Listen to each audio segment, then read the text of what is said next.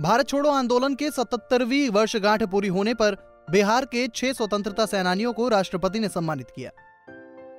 सभी स्वतंत्रता सेनानियों ने 1942 के भारत छोड़ो आंदोलन में अंग्रेज़ों के खिलाफ जंग लड़ी। ऐसा ही एक स्वतंत्रता सेनानी है तारिणी प्रसाद शाह।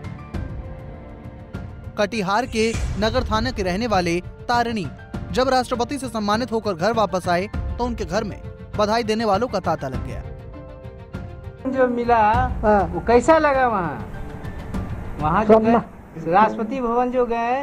राष्ट्रपति भवन गए वहाँ हमारे बगल में कुर्सी खाली रखी गई थी। उस पर आकर मोदी जी बैठे मेरे बगल में नमस्कार करके चले गए।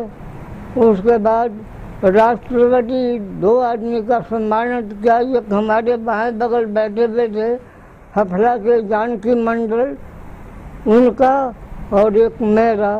दो आदमी का राष्ट्रपति सम्मानित किए। वो चादर दिए, झोला में करके। उसके बाद हम लोग वहाँ से पिता को मिला सम्मान तो बेटा भी खुशी से झूम उठा।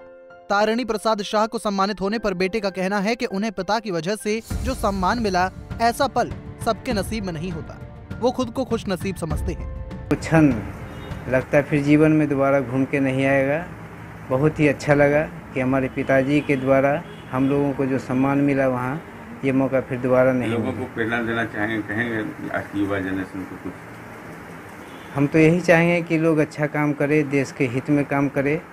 जो आने वाले समय में और भी लोगों को मौका मिले कि ऐसा क्षण उनके जीवन में भी आए।